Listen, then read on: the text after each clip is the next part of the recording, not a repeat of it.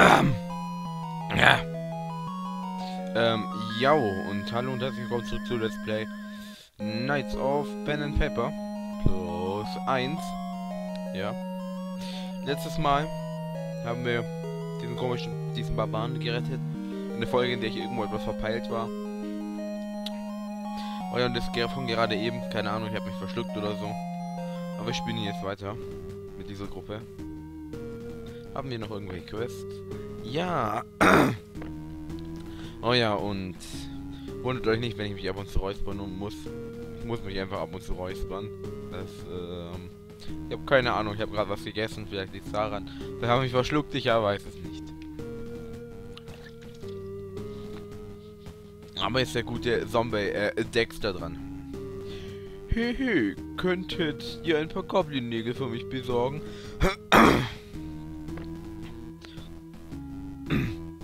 Dass ihr die von den Goblins holen müsst, brauche ich euch eigentlich nicht zu sagen, oder?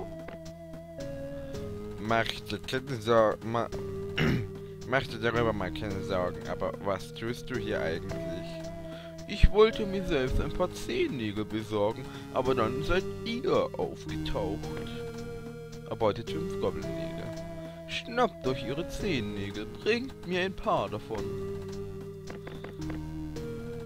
Moment, das machen wir anders. Goblin-Häuptling. Mm -mm. Spürt die Macht!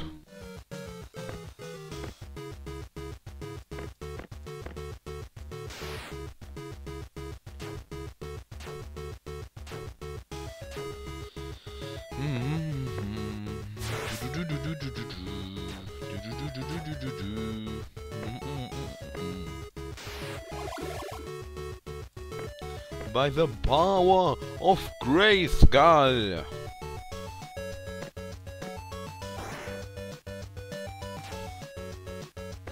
He-Man! Oh yeah! Wer es, wer, jetzt zu mir kommt, He-Man ist schlecht, der soll sich schämen. Weil He-Man nicht schlecht ist. Wenn das jemals zu mir jemand sagt, der, der bei mir instant verkackt.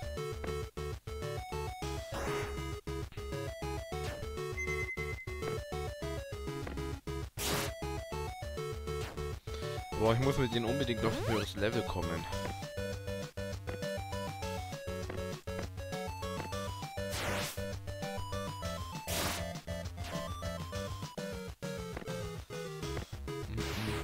Und die brauchen unbedingt noch bessere Waffen. Sonst sehe ich schwarz für die später. Weil ich bin mit meiner jetzigen Gruppe, mit der bin ich zwar um einiges weiter, aber die haben ja schon Full Upgrade Waffen.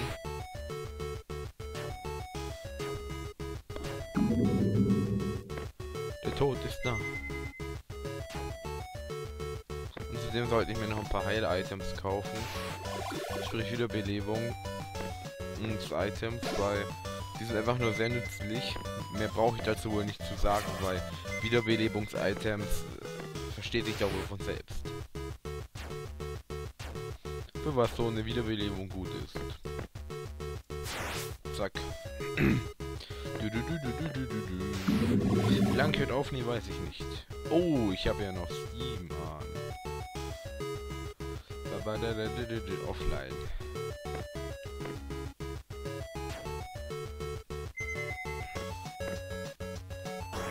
Offline muss ich das ja immer machen, weil äh, sonst kommen diese komischen Steam-Pop-Ups rein. Yeah. Ah, oh, das sieht immer so scheiße an, wenn ich so rede. Aber es ist trotzdem für euch rede ich immer so, weil ich das cool finde, so zu reden. Obwohl ich echt finde, dass sich irgendwo behindert anhört, aber scheiße drauf. Scheiß, scheiß, scheiß drauf.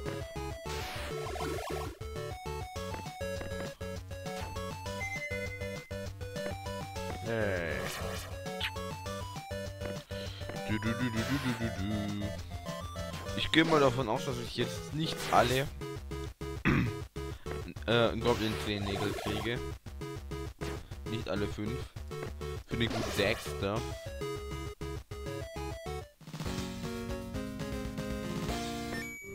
Und der Dexter von jetzt hat nichts mit dem Dexter zu tun, von dem ich ab und zu geredet habe.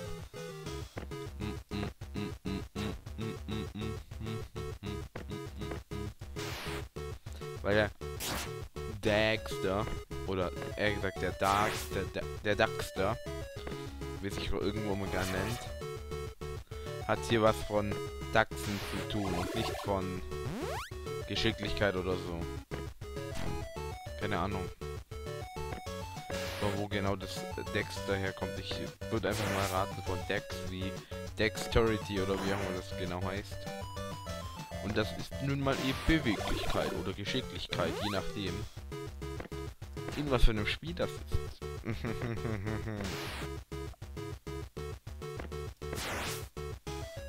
und ich lache ab und zu wieder so behindert. Behindert, behindert, behindert. Bin, irgendwo bin ich schon wieder verpeilt. Ich sollte niemals aufnehmen, nachdem ich geschlafen habe. Denn ich habe wieder geschlafen. Verurteilt mich nicht nur, weil ich mal ab und zu ein bisschen schlafe. Schlafen ist schön. Ich habe eine Lehrerin, die hat hier so Schlafen als Hobby. Wieso stand da eigentlich, wieso stand da krüppelige, Körper, äh, nee, krüppeliger Schaden oder krüppeliger Widerstand, eher gesagt, statt körperlicher, wenn man mal dieses Ö einfach weg ist und dann einfach ein neues Wort raus wie krüppelig oder so. Wenn noch eigentlich, ich muss meine Religionshausaufgabe noch machen. Und ja, in Religion kann man auch Hausaufgabe aufkriegen. Da ich ja vom guten alten Mr. Black hier ähm, Hausaufgabe aufbekommen habe, weil wir so ein Blatt hatten, das wir noch fertig machen müssen. Immer diese Lehrer mit ihren Blättern, die man fertig machen muss. Das ist so schlimm.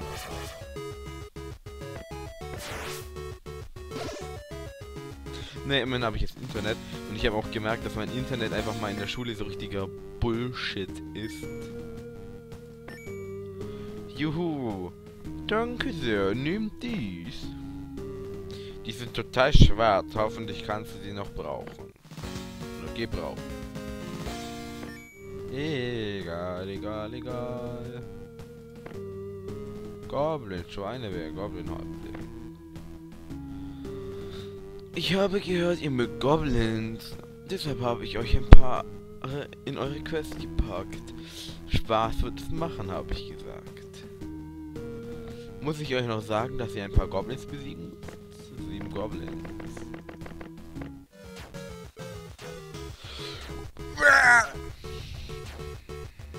Und ja, das war hier so ein Kampfschrei eines Goblins. Also, lasst mich. Lasst mich in Ruhe. Und ich nehme das natürlich wieder an dem besten Tag auf, weil man das machen kann an einem Donnerstag, zu dem ersten Mal. Morgen ist Freitag, da bin ich Nachmittag, da kann ich nicht so super aufnehmen. Wobei morgen hätte ich eh Zeit, da, ich kann eh nicht mit den anderen WoW spielen. Weil die da wieder WoW spielen natürlich. Denn Leute, es ist so, ich besitze die neue WoW-Erweiterung nicht, hier Warlords of Draenor. Und da kann ich nicht, ich, darum kann ich nicht mit den anderen spielen, weil die anderen haben es, ich hab's nicht. Und ich denke mal, ich werde es mir auch noch nicht, auch nicht kaufen. Zumindest äh, für die in der nächsten Zeit nicht. Das erste, was ich mir kaufen werde, ist natürlich hier so PC.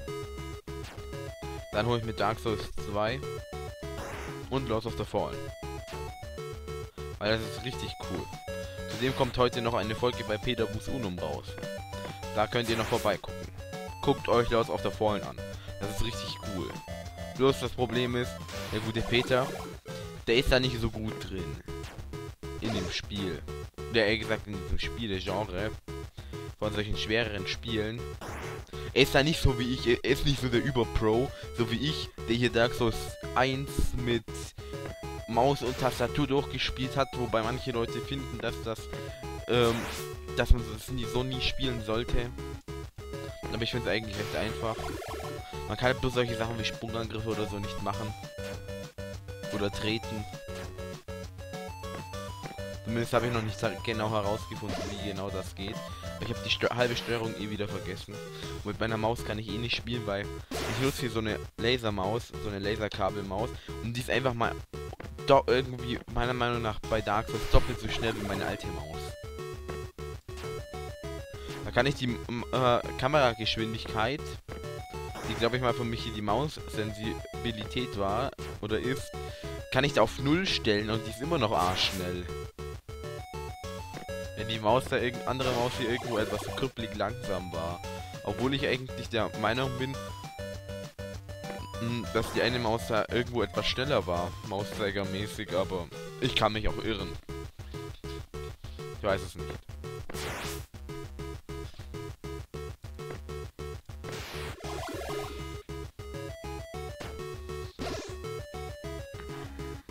Ah ne, ist keine Lasermaus, sondern so eine Leuchtdiodenmaus, Das ist ja ein Unterschied. Goblins verprügelt. Äh, doch jeder gern. Oh, jetzt habe ich den Dings ja nicht vorgelesen. Egal. So, dann hätten wir hier auch das Ganze fertig.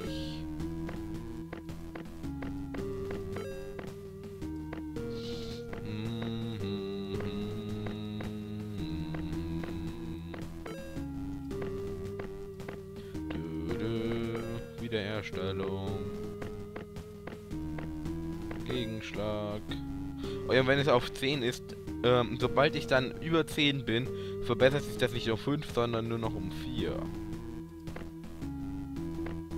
Jetzt nach Burg Abendlicht. Ja, ja, Bitches.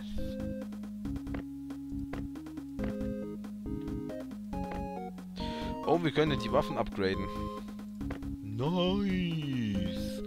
Nice, nice, nice. Und morgen habe ich Religion in den ersten beiden Stunden. Oh ja. Yeah. Da habe ich dann äh, Religionsunterricht mit Mr. Black.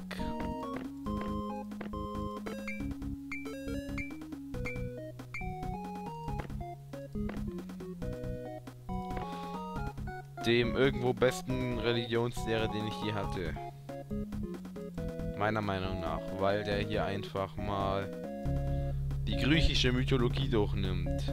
Und wer von euch zu mir jetzt sagt, oh, das ist doch Standard, ähm, für mich nicht. Ich hatte sowas nie. Aber ich bin auch in einer Dingens Generation generationsmäßig bin ich da irgendwo in diesem Abteil gelandet, in dem eigentlich das Wissenswerte so langsam irgendwie außer Acht gelassen wurde man eigentlich nur noch das durchgenommen hat in der Schule, was man eigentlich, was im Lehrplan stand. Weil ich kenne auch Lehrer, die haben noch nebenzu andere Sachen gemacht, die halt nicht so ganz auf dem Lehrplan standen. Aber es waren dann solche Sachen, die waren eigentlich recht interessant. Aber heutzutage ist das eben nicht mehr so. Weil es mangelt an guten Lehrkräften, Leute. Oh, ich habe ihm die Ringe nicht gegeben. Das ist halt nun mal schlecht. Da kannst du hier nicht so den weltbesten Lehrer, den du mal in der Grundschule hattest, erwarten, als, keine Ahnung, als Deutschlehrer oder sonst was auf irgendeiner normalen Schule. Nein, da hast du einfach mal irgendwelche irgendwelche 0815 äh, Lehrer. Das musste ich ja nicht, hab ich, das habe ich selber erfahren, alles an meiner alten Schule, die ich irgendwo etwas schlimm fand. Warum hat er ein Amulett, mit dem er 3 XP mehr bekommt? Hat er da nicht einen Vorteil gegenüber den anderen? Das will ich doch nicht.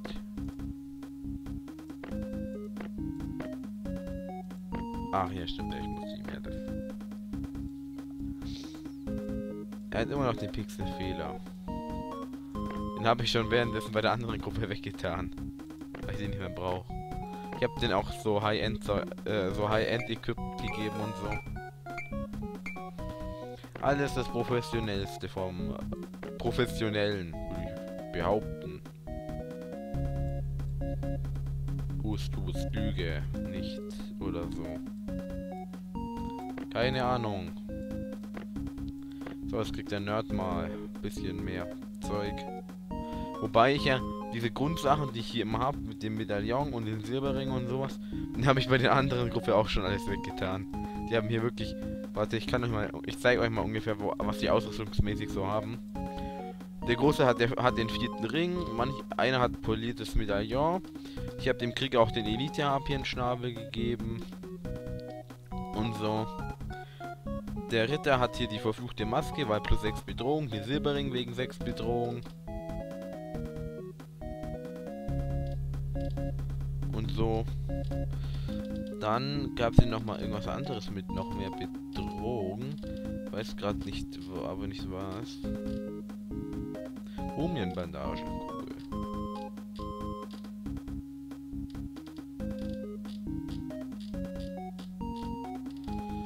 Mm.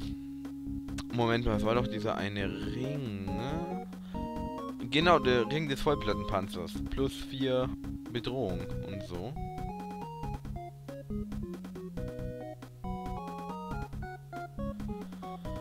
Mm. Oder wo ist das spitze Amulett? Das habe ich beispielsweise dem Krieger gegeben bei minus 5 Bedrohung, weil es war so, da hat er ungefähr einen gleichen Bedrohungswert wie der Ritter.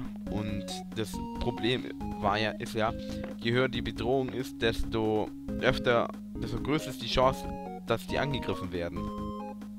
Außer die hauen hier so ein AOE-Dings raus oder so. Ah ja, Palastwache.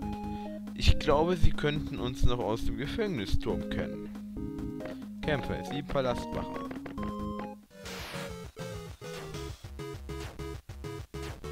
Die sind eigentlich locker easy.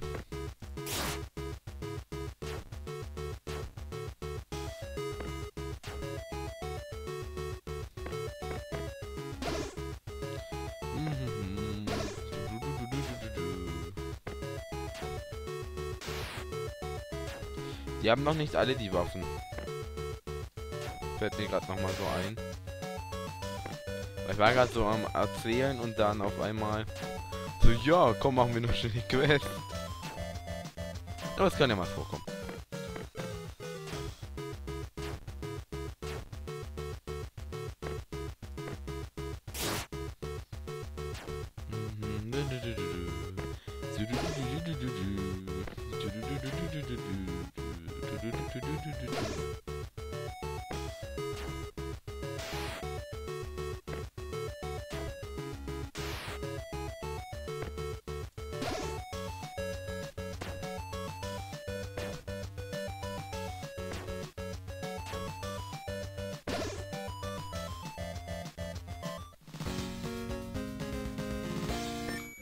Ja, einmal Stroh. Schützt vor Erdbeben.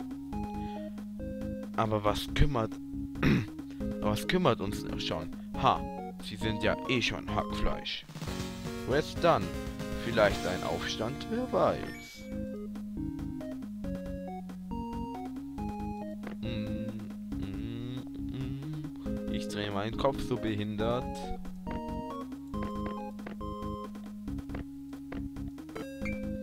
Wow, jetzt tut dein Kopf weh, weil ich meinen Kopf gedreht habe.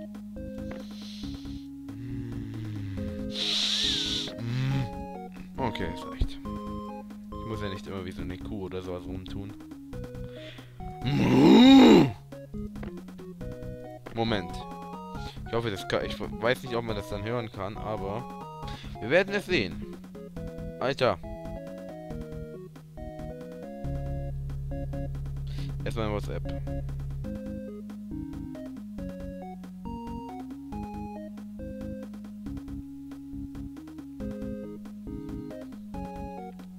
Immer zuvor nicht peilen, weil ich, ähm, weil ich ja gesagt, weil ich denen gesagt habe, so ja, ich äh, werde hier kein WoW spielen können und so. Und dann so, ah, weil du ja kein WoD holst und so. Moment.